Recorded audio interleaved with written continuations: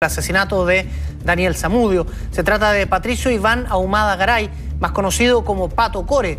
Dejó de ingerir alimentos el 18 de octubre pasado en protesta por el fallo y desde este martes tampoco consume líquidos.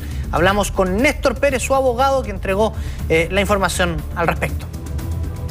Él está manifestándose eh, de la forma que él puede hacer, porque él está en libertad y la única forma que puede hacerlo es a través de, este tipo digamos, de, de gestos él está reaccionando frente a un resultado de un juicio que de alguna forma, si era predecible, no resulta del todo razonable y comprensible para él. No entiende por qué se le perjudica de esta manera con una sentencia cuando de alguna forma las personas que están inculpándolo, los coimputados, mintieron groseramente en aspectos que la ciencia eh, en este caso contradijo. La ciencia le dio la razón a Patricio en muchos aspectos. Se desacreditó que cualquier tipo de, en este caso, de golpe con la piedra podría, traía como consecuencia eh, deformación del rostro, fractura de cráneo y costilla. No tiene nada en, el cráneo y nada en las costillas. Eso lo dijeron dos médicos.